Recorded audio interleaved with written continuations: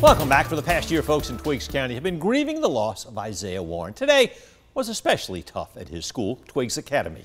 One year ago today, 17-year-old Warren died in a car wreck. He lost control of his Jeep, It flipped over on Churchwell Road in Bleckley County.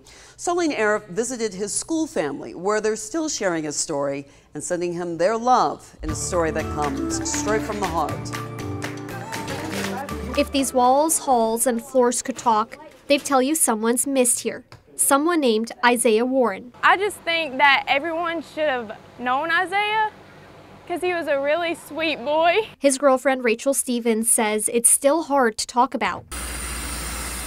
It's hard to talk about, so people wrote instead.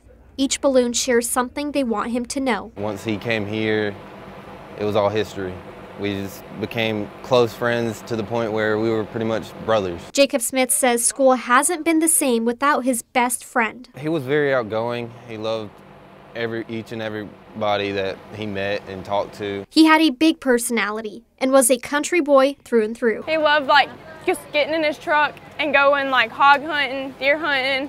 I think every hunting you could do possibly, he did it. If grief is proof how much someone was loved, this school is proof that Isaiah Warren was adored just as much as he adored others. He's a loving and he loved his mom so much.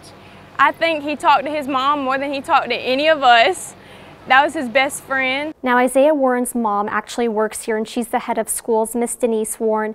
Right on her classroom door is a sign that says, do not fear for I am with you. And that scripture is Isaiah 41:10. Reporting in Jeffersonville, Solene Arif, 13 WMAZ News. Isaiah Warren's friends say they think he would have loved the balloon release and be smiling down at it. His school started a scholarship in his honor since he's passed. If you'd like to donate towards it, you can reach out to Twiggs Academy.